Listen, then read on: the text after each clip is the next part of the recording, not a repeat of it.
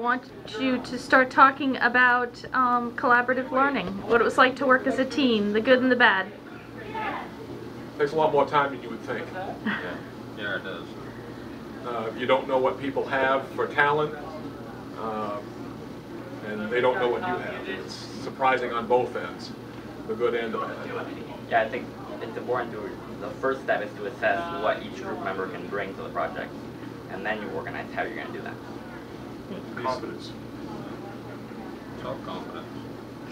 Say competence or confidence? Confidence, confidence. or both. Confidence. Confidence on what the other people can do in in a group and self-confidence. Most of all, you have to believe in yourself and in everyone.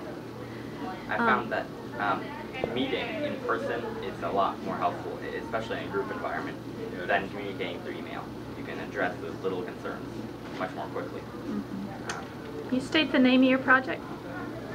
Um, displaying art in the community. Great. Okay, thanks.